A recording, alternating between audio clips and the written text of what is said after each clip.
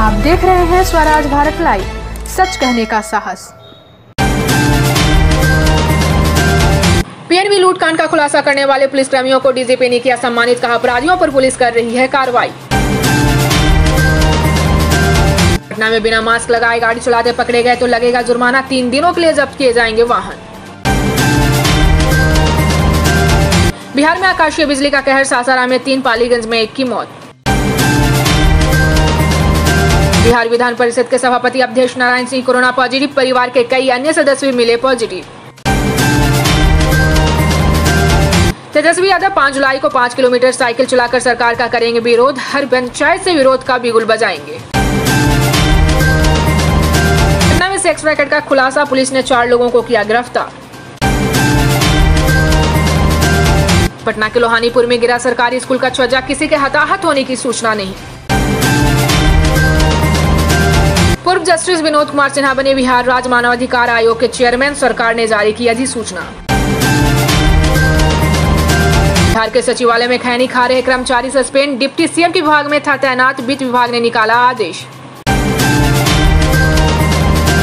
कोतवाली थाना में दो एएसआई समेत नौ पुलिस वालों को हुआ कोरोना। एसएसपी ने बंद करने का दिया आदेश। सुपौल में चार पहिया वाहन चालक को साइड नहीं देना पड़ा। महँगा ज्ञात अपराधियों ने चलाई गोली। पुनिया के लाल को नगर निगम ने दी सच्ची श्रद्धांजलि। फोर्ड कंपनी चौक का नाम बदलकर रखा जाएगा। सुशांत सिंह राजपूत चौक।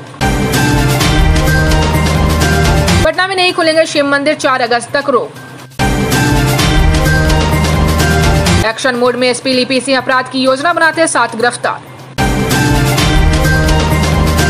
सरकार का बड़ा फैसला, सीओ समेत 402 अफसरों के तबादले पर रोक। अब सीएम नीतीश देखेंगे पूरी फ़ाइल। झारखंड एकेडमिक काउंसिल ने जारी की ग्यारहवीं का रिज़ल्ट 95.53 फ़ीसदी छात्रों को मिली सफलता। झारखंड के सिमडेगा के कोलेबिरा में सड़क दुर्घटना में दो युवकों की मौत। झारखंड में छह पुलिसकर्मी समेत अड़सठ नए कोरोना मरीज़ मिले, संक्रमितों की संख्या पहुँची छब्बीस सौ संतानवे। साहिबगंज ने देश के लिए दी एक और शहादत, आतंकवादियों से मुठभेड़ में कुलदीप की मौत। सीएम नीतीश का कोरोना जाँच के लिए लिया गया सैंपल। विप सभापति अवधेश नारायण सिंह के कोरोना पॉजिटिव आने के बाद राजनीतिक गलियारे में भूचा। ऐसे अन्य कई खबरों के लिए बने रहे हमारे साथ। अगर आपको वीडियो पसंद आया हो तो लाइक करे, सब्सक्राइब करे, अपने कमेंट्स दे और हाँ बेलाइकन क्लिक करना ना भूले। धन्यवाद।